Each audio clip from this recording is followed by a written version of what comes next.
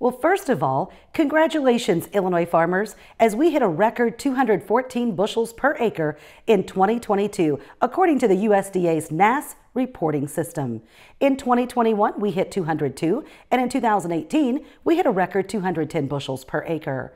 One of our lowest years that we can remember was in 2008 with 179. We are overall pretty thankful for this year.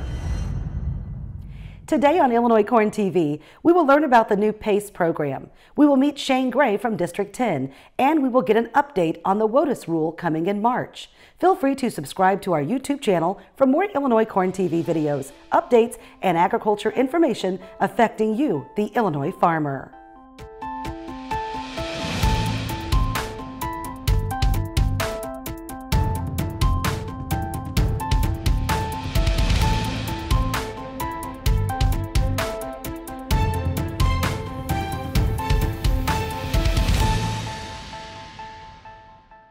Well, there's a new program called PACE, Post Application Coverage Endorsement Crop Insurance. PACE is designed for corn producers who are looking to strategically apply nitrogen. It will provide supplemental coverage when a producer plans on split applying nitrogen but is prevented due to field conditions caused by adverse weather. It gives farmers the opportunity to use split apply to increase the efficiency, decrease the nitrogen runoff, and maximize their financial investment. Here is a report from Stu Ellis with Marsha Bunger from the USDA Risk Management Agency with a recent Illinois Corn connection.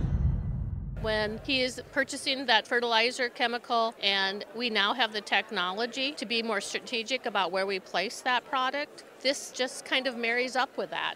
By having a PACE endorsement, you're protecting the risk that you're taking by split applying your nitrogen across that field. It's, it's about timing when you apply that fertilizer, and so because of the value of the crops these days, you want to try to get the most yield that you possibly can, but yet at the same time, Mother Nature still has a say. And so, with that, if for some reason you can't get that application applied timely, that's what that PACE endorsement does.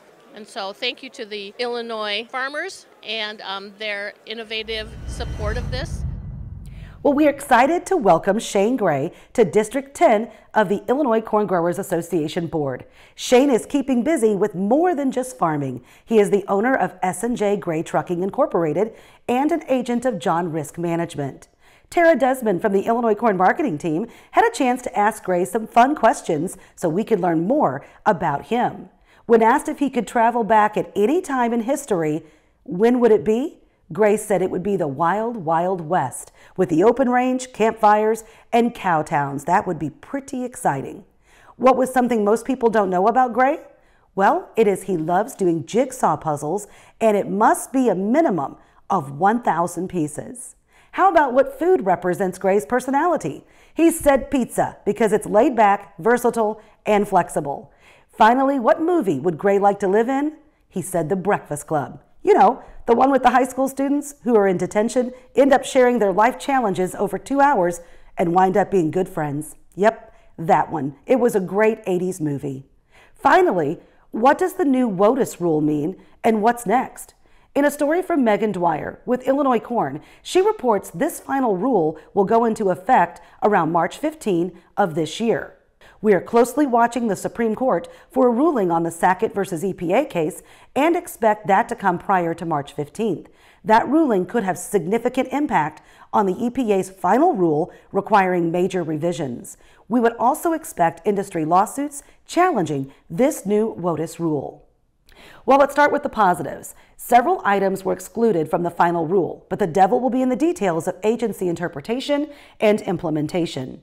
A few of those items include prior converted cropland was omitted, but you do need to have a USDA prior converted cropland certification for any applicable acreage. Swales and erosional features characterized by low volume, infrequent, or short duration flow, artificial lakes or ponds created by excavating or diking dry land, water-filled depressions created in dry land incidental to construction activity. Illinois Corn will continue to advocate on behalf of what's best for Illinois farmers. If you have any comments or questions, please reach out to Megan Dwyer. Thanks for being with us today on Illinois Corn TV, and I hope you have a great week.